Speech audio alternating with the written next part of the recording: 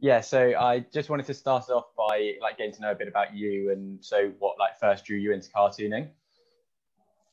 Um, okay, I'll start with introducing myself. Uh, I'm Yam. That's my long name. Short is Yemi. Um, I'm from Ethiopia, uh, Addis Ababa, the capital city. So um, um I'm a cartoonist. Um, and I also do graphics design. Um, I run an illustration based company with my brother in uh, Addis Ababa uh, called uh, Laughing Gas Design. Um, yeah, basically, this is me. And what drew me to cartoons uh, was um, as a kid, I liked how colorful they were. Um, and they're very catchy. Um, and they're not bound by reality. Um, uh, the sun can be the sun can set in the east and nobody minds. So I like that about cartoons. Um, the other is it's very easy to convey a message. You can say a lot with a simple doodle. Mm-hmm. So these are some of the things that uh, drew me drew me to cartoons. Okay, nice. Um, and so how do you see like your role as a cartoonist? Do you see it as perhaps you should be commenting on current events, or do you more see yourself as an activist and your cartoons are your way of um, putting across your opinion? Okay.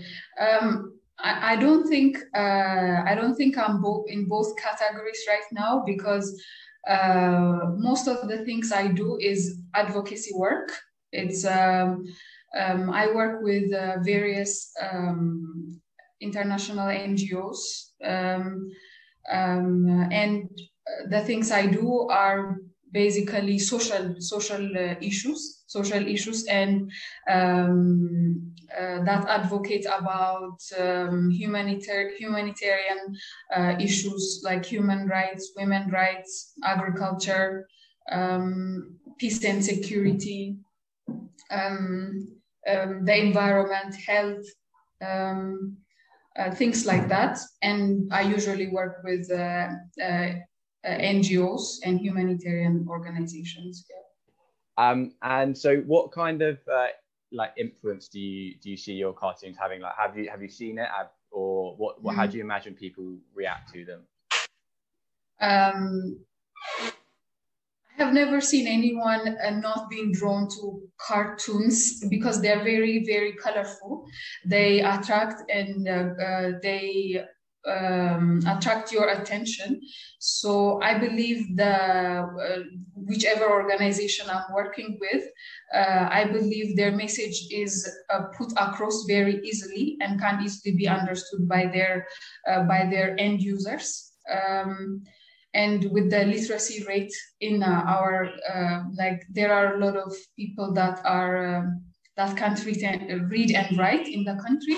So i believe the cartoon, cartoons play a great role because you don't have to read or write to understand a certain picture. Um, so I think um, for advocacy purposes and for educational purposes of a certain um, topic, uh, I believe that's where the my the influence of the cartoons are here. Okay, okay, brilliant.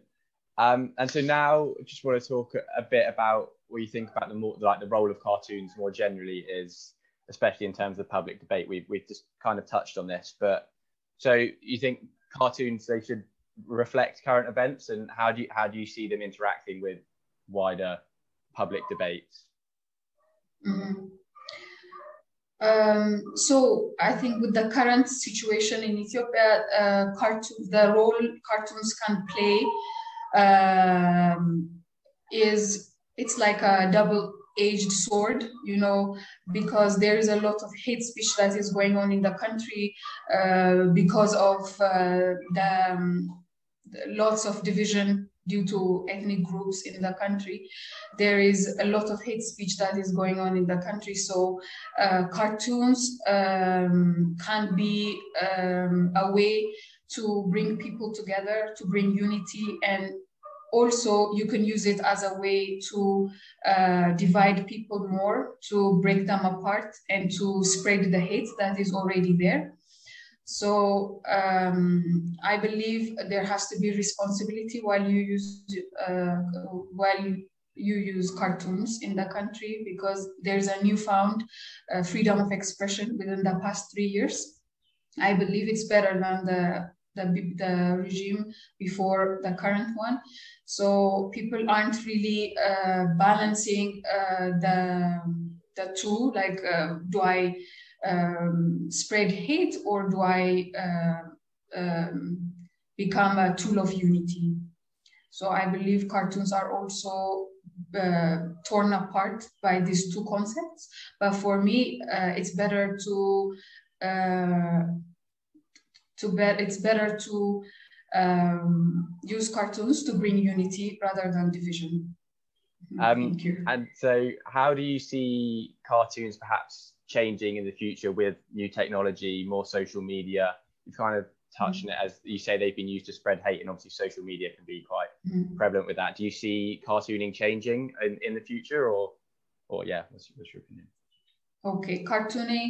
Um, I think with technology, cartoons have a bright future the, because uh, they can be more interactive. Uh, they can be uh, spread uh, more because there would be easy access of technology in the future. Um, and I believe there is um, less um, reading. I don't know, I mean, I don't know the, the numbers, but I believe people are becoming more visual uh, rather than reading a long text. So cartoons um, have hope there because when, when people become more visual, uh, they can aid that uh, that uh, transition. Um, so I believe with technology, people have uh, cartoons have a bit brighter future.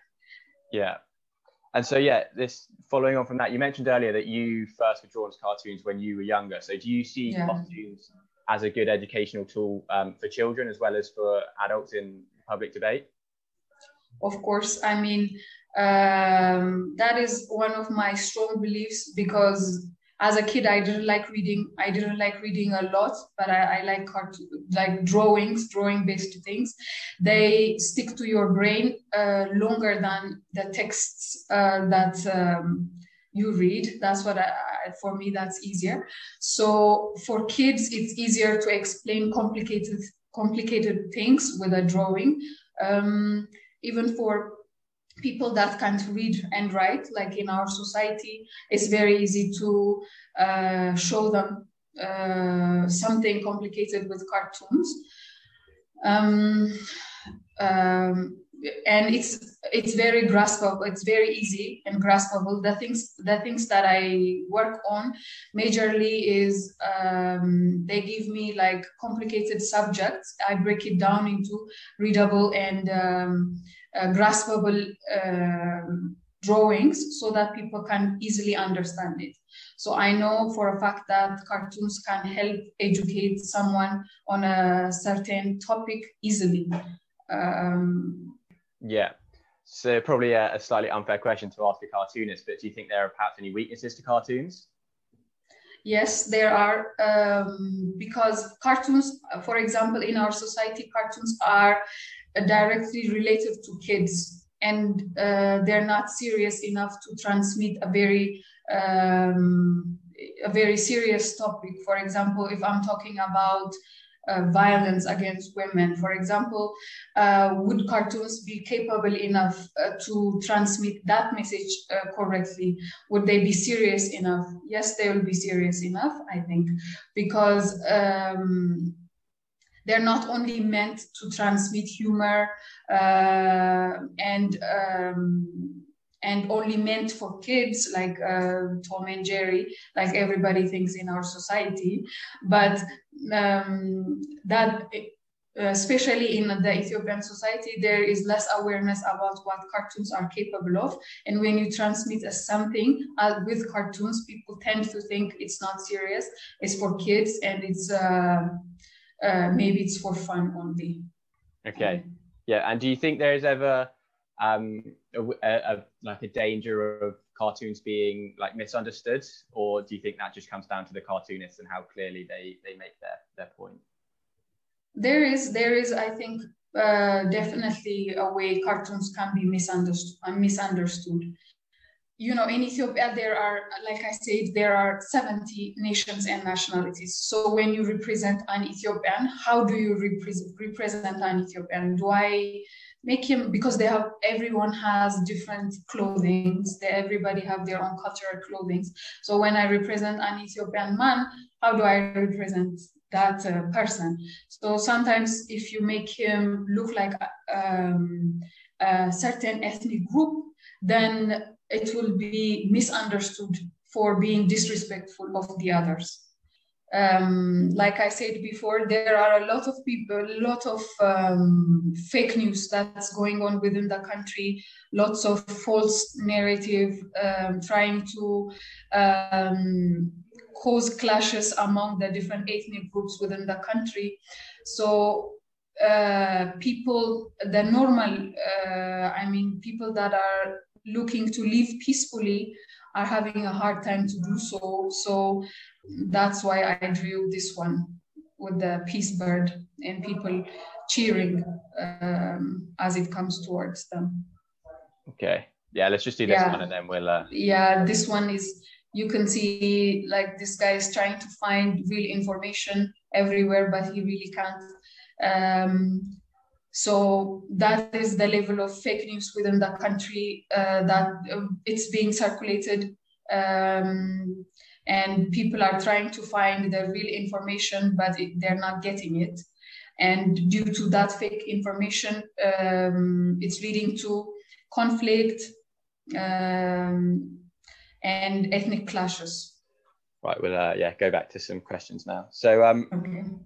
How how important is it for you to have humor in your cartoons, and how do you strike a balance mm-hmm. between perhaps putting humor in and making sure it's still informative and not making sure, it? yeah, yeah. Okay, humor.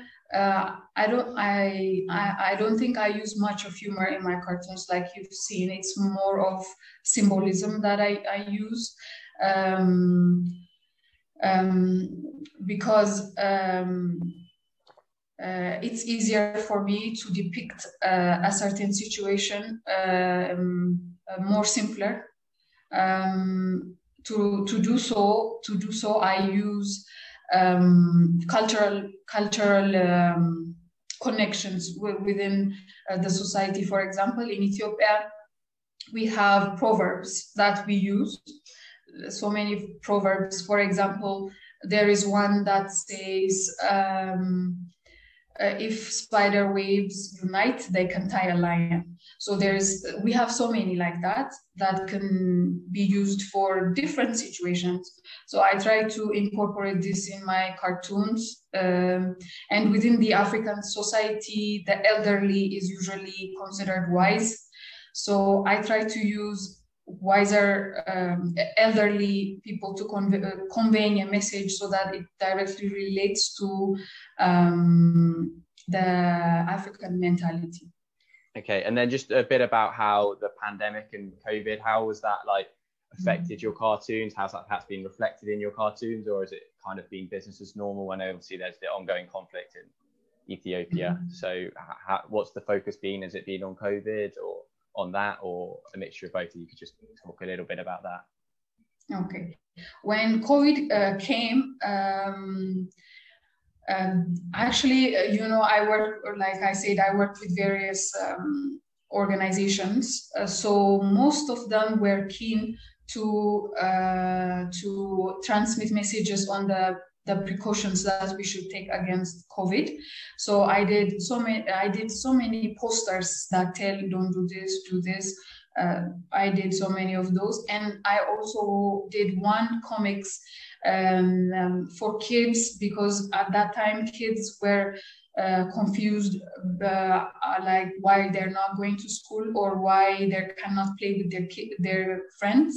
So uh, most of the cartoons that I did were to raise awareness about what uh, COVID is and uh, how we can keep ourselves uh, safe from COVID. Um, so that was how I was involved. Um, but regarding the conflict, I would say COVID is given less attention uh, than the conflict, and most of the resources uh, are um, going to the conflict than uh, to COVID. Mm-hmm. Yeah. Okay, I see. Um, and then this is this is my last question. We've kind of already okay. touched on it. Um, so, well, you've already said that you think young people are interested in cartoons. Do you think they're both mm-hmm. interested mm-hmm. in learning to like draw cartoons themselves as perhaps a tool to um, yeah convey their message as well as looking at them to understand certain topics okay when it comes to the young uh, um, yeah i think there's a potential but uh, the thing is there are few cartoonists in ethiopia uh, and most of them are self-taught um, we don't have schools in the in Ethiopia where you can go and learn how to do cartoons. And of course, they need some skill set to draw and to understand how it works. So there aren't schools in this country, um, and that is something that I would really want to work on. Okay, so we don't have schools, and the other is cartoons are not really considered as a career path in this country because uh, they're considered as uh, tools for uh, kids. in, in our society, um, the awareness about cartoons is very low. It's not like Europe where you see cartoons being utilized everywhere, uh, comic books being everywhere. Here we don't have um, comic books at, at, all. I don't think I haven't seen um, so many comic books. So we have to work on uh, educating the youth cartooning cartooning is also a path that they can take as a career path and it's a very powerful tool to uh, to transmit a message to express themselves